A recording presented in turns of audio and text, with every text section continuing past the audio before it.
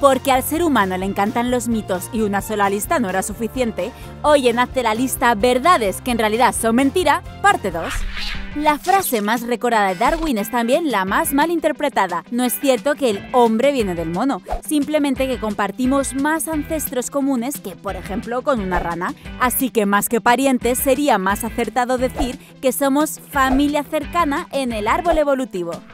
No sé a qué clase de escatológico se le ocurrió este bulo, pero te alegrará saber que orinar en una picadura de medusa no sirve de nada al afectado. Primero, porque es asqueroso, y segundo, porque es mucho más efectivo lavar la zona afectada con agua salada.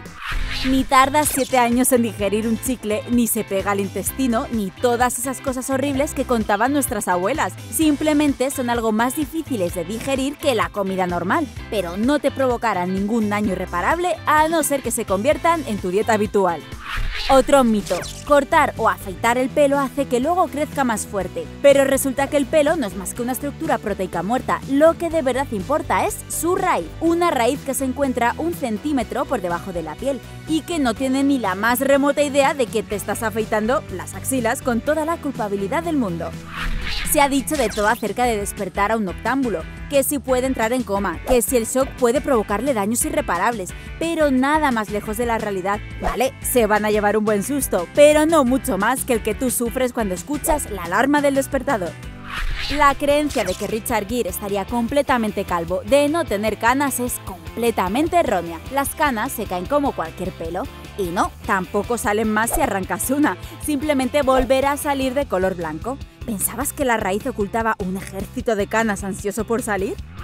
Son muchos los alumnos suspensos consolados con un tranquilo, si hasta Einstein suspendió matemáticas. Y si eras uno de ellos, lamento comunicarte que eso es mentira. La única vez que Einstein suspendió un examen fue el acceso al Instituto Politécnico de Zurich, y fue porque la prueba incluía un ejercicio en francés. Nos encanta la leyenda de los 5 segundos de seguridad para la comida que cae al suelo, pero para qué engañarnos, depende de lo sucio que esté el suelo, de la humedad, del tiempo. ¿Comerías una galleta arrojada a un charco de barro solo porque no han pasado 5 segundos? ¿A que no?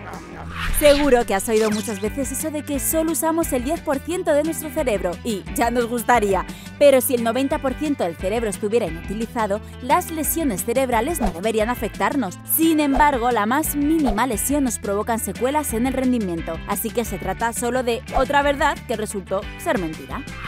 ¿Alguno de los puntos te ha hecho sentir que has pasado toda tu vida engañado? Cuéntanos en los comentarios, ya verás cómo no estás solo.